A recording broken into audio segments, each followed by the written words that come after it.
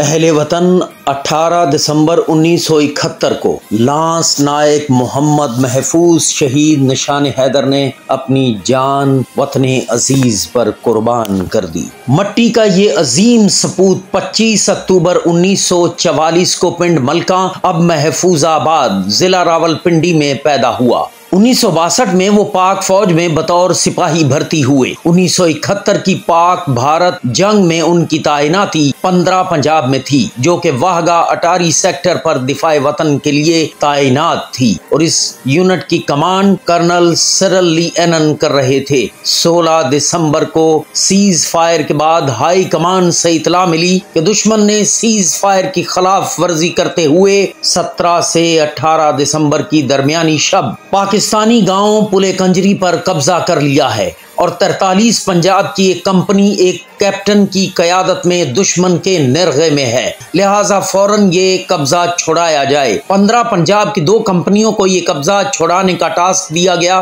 Colonel सरली एनन ने पंद्रह पंजाब की अल्फ़ा और डेल्टा कंपनियों को रुखसत करते हुए कहा, मेरे हर दिल अज़ीज़ जवानों, पंद्रह पंजाब तैतीस मोहम्मदी की तारीख इंतहाई शानदार है। इस यूनिट ने हर सतह पर चाहे खेल हो या जंग पहली जंग अजीम से लेकर उन्नीस सौ पैंसठ की जंग तक बहादुरी के शानदार कारनामे सर अंजाम दिए हैं। किंग और कोइन ने भी इस यूनिट की बहादुरी, फ़र्ज़ शनासी और कुर्बानियों की तारीफ़ की है। ये मैं इसलिए नहीं कह रहा कि मैं कर्नल सरलियन एक मसीही हूँ और किंग और कोइन की तारीफ़ कर रहा हूँ। दरअसल आप हैं ही बहादुर, और बहादुर की हर कोई तारीफ़ करता है। हता के दुश्मन भी। शर्त सिर्फ़ ये है कि आप बहादुर हो और शरीफ भी। तुम बहादुर हो, शरीफ हो, शहीद होते हो या गाजी। तुम दुश्मन की इज़्ज़त की भी हिफाजत करते हो। अल्फ़ा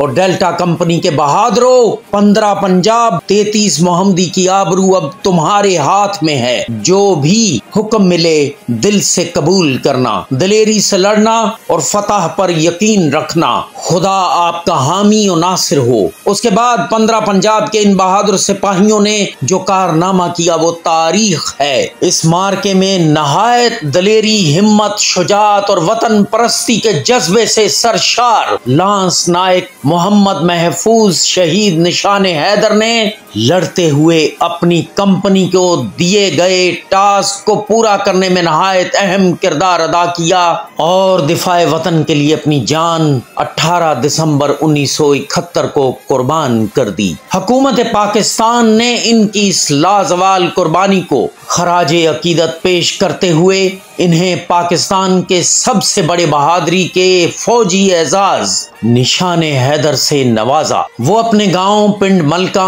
अब मौजूदा महफूजाबाद रावलपिंडी में दफन है। कौम अपने इस हीरो और मोहसिन को सलाम पेश करती है। पाक फौज जिंदाबाद, पाकिस्तान पाइंदाबाद। तहरीक शनाख्त के अगराज मकासद के हसूल के लिए लिखी गई पंद्रह कुतब में से आज़म महराज की एक लिखी गई किताब शहदाय वतन से एक इकतबास।